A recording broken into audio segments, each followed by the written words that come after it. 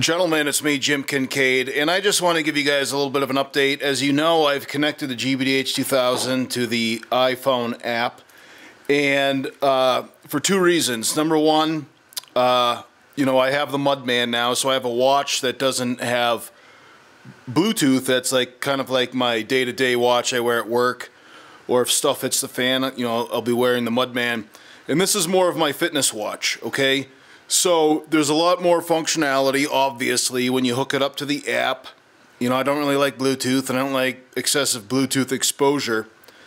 But uh, some individuals were asking me about uh, the the various functions, particularly sleep tracking. Okay, and one gentleman is Prince two one three two is asking about the sleep tracking, and uh, you know, I was telling him that that I'll test it out. You know, and and he said he was very interested. So this is obviously an important topic to him. Now, just to let you guys know that that I, like the sleep tracking, I mean, I just kind of gauge do I feel tired, okay? And that's about as sophisticated as I get with the sleep tracking. But uh, some some guys out there they really want to know, so I, I gave a little bit of a trial run for the past couple days. Now the problem is without Bluetooth and without the app, it doesn't it doesn't consistently calculate your sleep quality, okay? And since I haven't hooked up to the app, like I'll show you what's what's on the watch. Now, first of all, you notice this watch face is different. This is actually another reason why I wanted to try out the uh, connectivity with the Casio Watches app. You can change watch face number five to display extra information, okay? So the cool thing about the square heart, which is what I call the the uh, the the DWH 5600, is that you can have a watch face that displays your heart rate. I think that's great. And I was lamenting that there was no such watch face on the GBDH 2000. Uh, several commenters mentioned that in the app, you can change watch face number five to display whatever information you want. And I just want to let you guys know that I'm pretty disappointed in watch face number five. Even with the app control, you have four sections. In each one of these, you choose what's displayed. Look how tiny the heart rate numbers are. This says 103. I'm getting worked up, right? Because these are pretty small.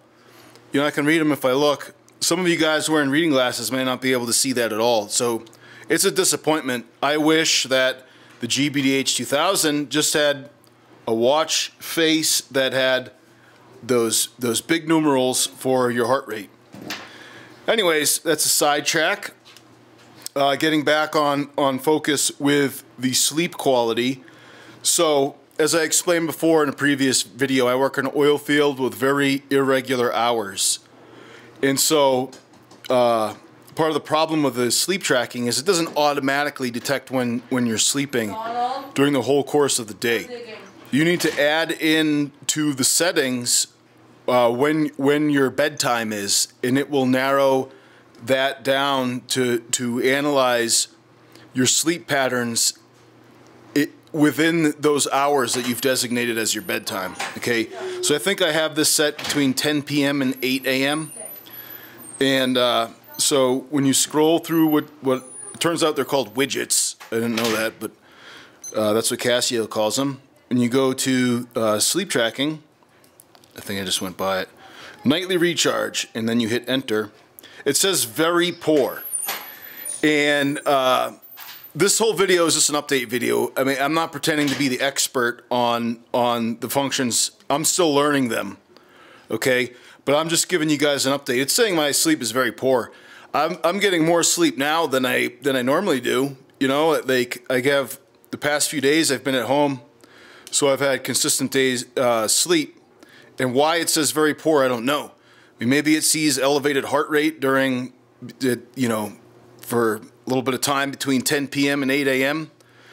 Uh, I ate a lot of chili yesterday at a Halloween party, and maybe a little too much candy. I had some uh, an upset little tummy last night. Had to get up and you know, visit the uh, old porcelain throne at 3 a.m. Maybe that's factoring into the very poor sleep quality. Uh, you know, it's wondering, you know, why I'm exerting myself at 3 a.m. for some some reason. Well, that's that's the reason. Chili and Halloween candy. And by the way, we were trick or treating, and and uh, we heard that uh, a family had set up an organ, an outside organ and Denise is an organist, and we're music lovers, so we we went over there, and and it was really cool. This guy had an organ set up. He was all dressed up. His wife was dressed up like a witch, and, and they had set up uh, like a screen with all these videos. And when I pulled up, he was playing uh, "No More Tears." I guess it was like the grand finale. And his son was out there playing the violin.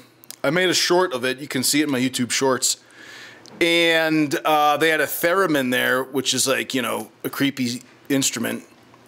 They let Denise jump onto onto the organ, and she has on her YouTube channel her playing uh, Bach.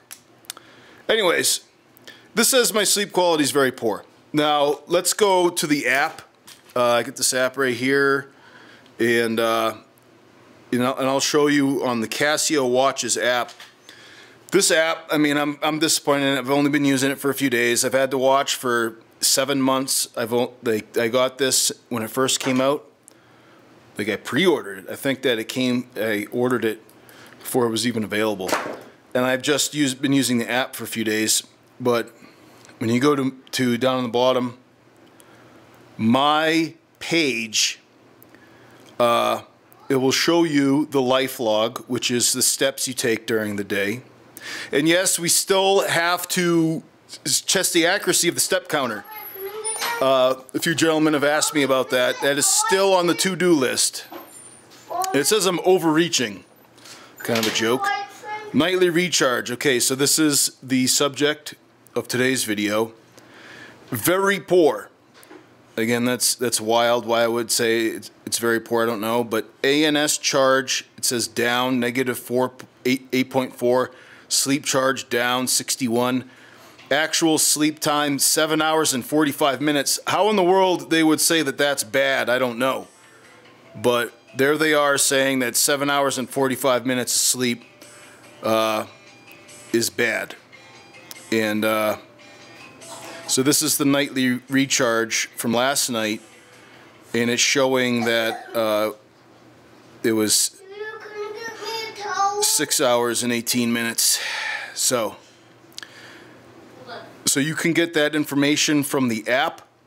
You can get that information from the watch, okay? And, uh, and, and I'll do some more research about the, uh, the sleep checker. But like I said, I don't think that I'm going to get really good readings because, you know, already I have a job tomorrow in Carlsbad at you know, at 4 a.m. So that's that's like, how do you? You'd have, I guess would I have to like update my my sleep time every night based on you know when I'm waking up or sleeping if I have irregular sleep time? I don't know. We're testing this out. All right. So stay tuned, and I'll give you more updates about about the uh, the, the sleep tracking function as well as well as other. Uh, is whether uh, the other tests on the GBDH 2000 and the DWH 5600 if anybody's interested. This one I'm going to test more of just a, as a notification watch. It doesn't have a GPS, so its its ability to track your fitness is based solely on the step counter and the heart rate monitor. So I'm just going to see how well this does. Just a lot of a lot of guys out there, they just want to have like a, a, a vibration alarm on their wrist for to relay, you know, uh, notifications that are coming from the phone. They really don't want a smartphone uh, watch. They don't want all the bells and whistles. They just want notification. So I'm going to be testing the Square Heart as a notification watch. See how well it does. I personally am not really into all that Bluetooth stuff, but I know all of you guys out there are, which is why we're testing it out.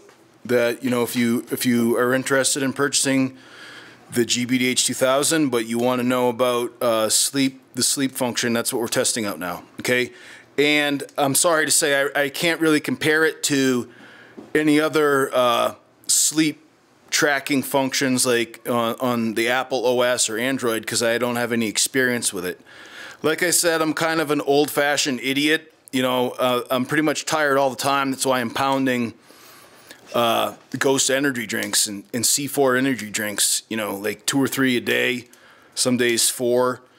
You know, uh, just uh, you know, trying trying to stay alert. But anyways, that's an update for for today.